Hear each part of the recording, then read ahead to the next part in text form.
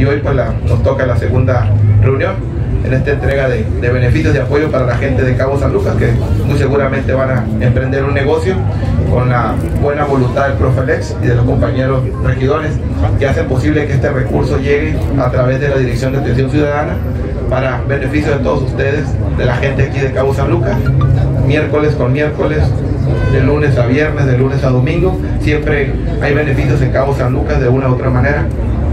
Hay que trabajar y cuidar este recurso y en este caso este apoyo quienes hoy van a recibir eh, un carrito de hot dog uno, eh, o lo que vayan a recibir que sea para de verdad para usarlos no para venderlos. Sé que no lo van a no van a hacer mal uso de ellos todo lo contrario.